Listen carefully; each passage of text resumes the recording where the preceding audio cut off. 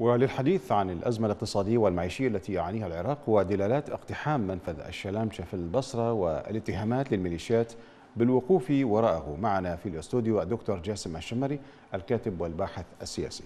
مرحبا بك دكتور جاسم. دكتور جاسم ما جرى في الشلامشة؟ إلى أي مدى ترى أن وراءه دوافع؟ ربما لا سيما أن هناك جهات مستفيدة من عودة الاستيراد من إيران إلى العراق.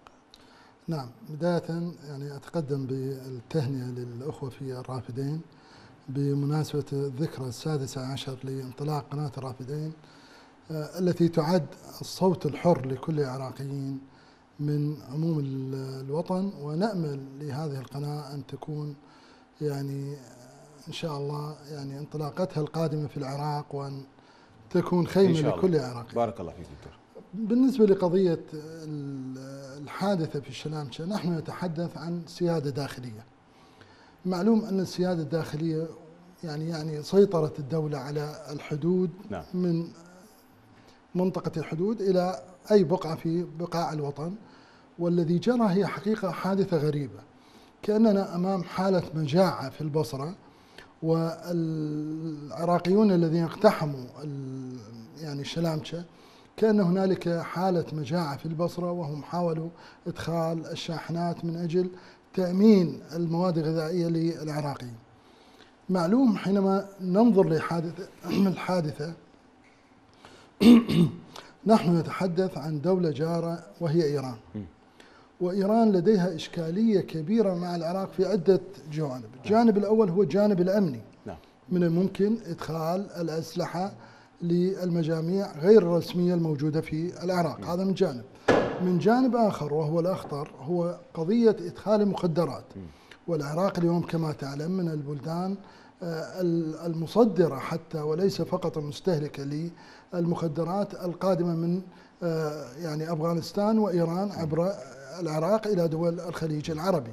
وبالتالي كيف يمكن تفهم هذا الفتح العشوائي للحدود ودخول هذه الشاحنات دون وجود أي حالة تفتيش ورقابة عليها. وبالتالي أنا أعتقد أن القضية لم تكن إلا خطة مدبرة بليل أريد من خلالها إدخال يعني مواد غير قانونية من ضمنها ربما المخدرات وربما الأسلحة. طيب دكتور توجيه الميليشيات عناصرها للاحتجاج في منفذ الشلامشة بهذا الشكل وأيضا ضغط النواب آه، لأحزاب مقربة آه، من إيران.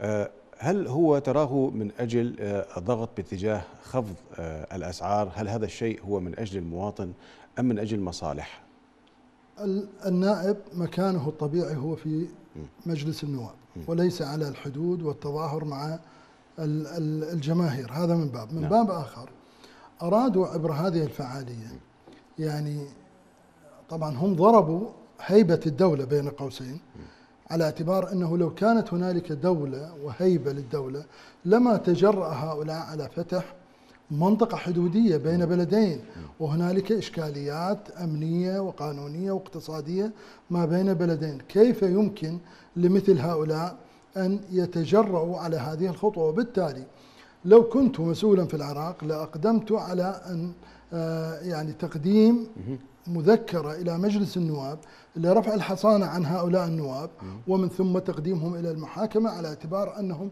ساهموا في قضية خطيرة ربما تمس الأمن الوطني العراقي. هذه القضية لا يمكن تقبلها. لا لا يمكن تفسيرها على أنه نوع من محاولة تقديم آه، يعني أو تسهيل وصول المواد الغذائية إلى المواطنين.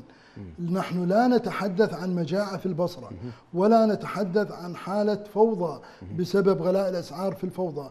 نعم هنالك ارتفاع للأسعار لكنها لم تصل إلى درجة أنه يتوجب أن تقحم المنافذ الحدودية ويتم إدخال الشاحنات هناك دون نعم. إخضاعها للتفتيش هناك ارتفاع كبير بأسعار المواد الغذائية. ترى يعني على ذكر آه، مس الأمن القومي آه، أو الأمن الوطني العراقي، لماذا لم تكشف ملفات وتكشف عن آه، من هم الذين قاموا بإحراق المحاصيل الزراعية في العراق علنا؟ لا سيما أن هناك جهات مستفيدة كما ذكرنا من موضوع الاستيراد من إيران. مثلا اليوم التبادل التجاري ما بين العراق وإيران ربما يصل إلى 18 مليار دولار وهنالك نية لإيصال هذا الرقم إلى 20 مليار دولار وهذا الرقم ليس قليلا في التبادل التجاري ما بين الدول وعليه حينما تحاول إيران أن تدفع بغالبية موادها غير الجيدة إلى العراق لا يمكن أن تدخل هذه المواد مع وجود فائض محلي.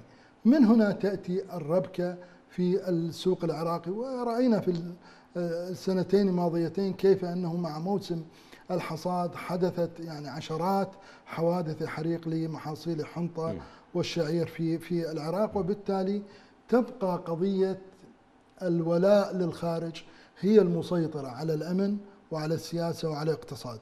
هؤلاء هم الذين يريدون أن رهن العراق للخارج. السوق العراقي من أجل تشجيع إدخال المواد الإيرانية وبالتالي زيادة التبادل التجاري إلى 20 مليار دولار بين بلدين هنا, هنا إلى أي مدى تتحمل السلطات الحكومية في العراق تتحمل تعريض آه، الموضوع الأمن الغذائي آه، الوطني العراقي للخطر وخاصة أنه قبل عمليات حرق المحاصيل الزراعية تم الإعلان أكثر من مرة آه، الاكتفاء الذاتي من محصولي الحنطة والشعير.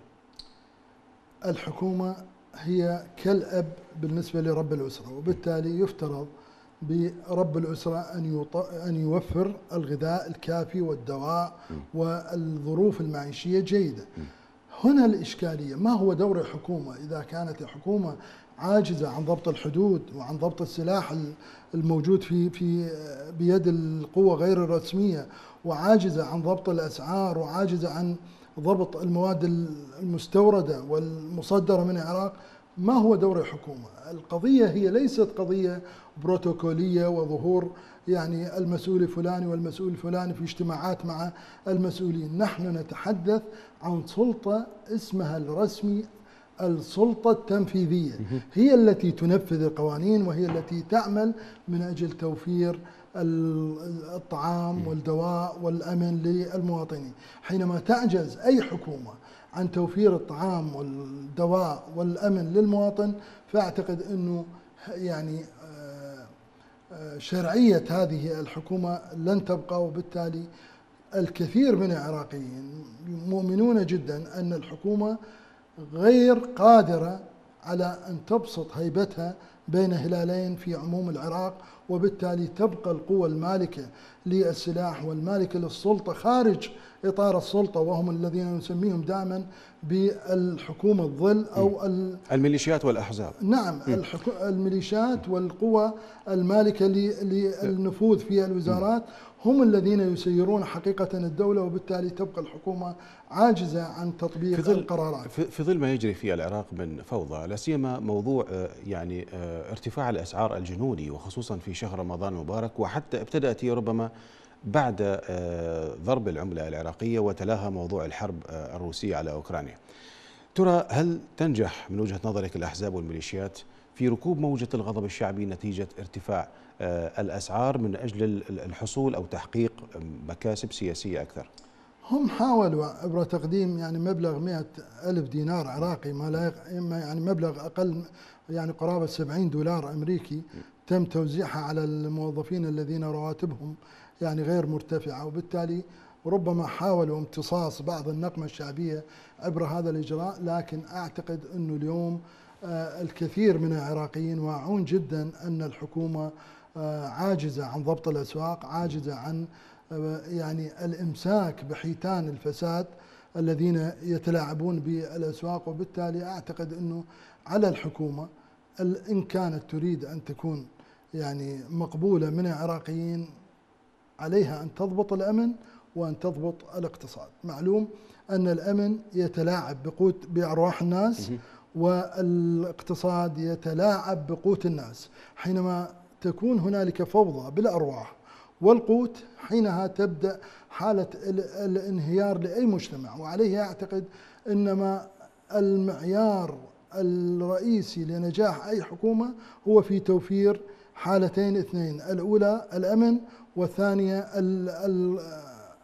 الطعام والحالة الثالثة هو الدواء. معلوم أن غالبية هذه النقاط التي تحدثنا عنها الأمن والغذاء والدواء أعتقد أن هنالك إشكالية كبيرة فيها في العراق. اليوم هنالك الكثير من العراقيين يبيعون ما يملكون من أجل الذهاب لعلاج في تركيا وفي الهند وغيرها من البلدان مع وجود هذه الموازنات الانفجارية وعليه أعتقد انه المرحلة الماضية أثبتت أن الأحزاب الحاكمة نعم. في العراق لم تتمكن من بناء منظومة الدولة وما زلنا حتى اليوم نعيش في حالة اللا دولة وهذه بالتالي حقيقة أمر مخجل ونحن نتحدث عن أكثر نعم. من عشرين عاما من التغيير الذي حصل بعد الاحتلال في عام 2003 وعليه نقول ما الذي قدمه هؤلاء نعم. وهم الذين يمتلكون القدرات المالية وال والرجال والأسلحة ما الذي قدمه نعم. هؤلاء للعراق عليهم أن يعيدوا النظر